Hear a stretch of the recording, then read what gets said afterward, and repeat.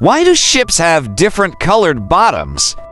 Today, we're setting sail on a journey to unveil the secrets behind this maritime tradition. So, why the different colors? The answer lies in the desire to create a distinct boundary between what's submerged and what's above the waterline. The different color serves as a visual marker, a line of separation. When ships navigate through the water, they want to make it clear where the waterline is. The different color on the hull helps with this, ensuring the ship's bottom is easily distinguished from the top. Now, let's explore the unsung hero of ship maintenance, anti-fouling paint. It's the ship's armor against stubborn marine growth. Anti-fouling paint is specially designed to prevent barnacles, algae, and other sea creatures from attaching to the ship's hull. How does it work? Well, it contains copper compounds that create an environment hostile to these unwelcome guests.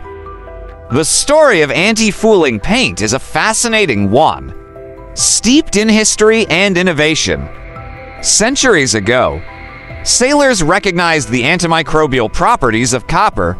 They started using copper plates on their ship hulls, as it discouraged marine growth. The copper plates acted as a shield against the elements. Over time, the idea of using copper evolved into the creation of copper-based anti-fouling paint. This breakthrough allowed for a more even and efficient application of copper to protect ships from the nuisances lurking in the sea. In today's world of ship industry, we have advanced anti-fouling paint that not only protects the ship, but also meets environmental regulations. Environmental concerns led to the development of anti-fouling, paints with lower environmental impact. These paints use less copper and are carefully formulated to minimize harm to aquatic ecosystems. In conclusion, the different colored ship bottoms serve to separate and protect. While anti-fouling paint has come a long way from copper plates to sophisticated modern solutions, most ship bottoms are still painted red due to tradition rooted in the use of copper oxide paint. If you found this voyage enlightening, don't forget to like, subscribe, and comment.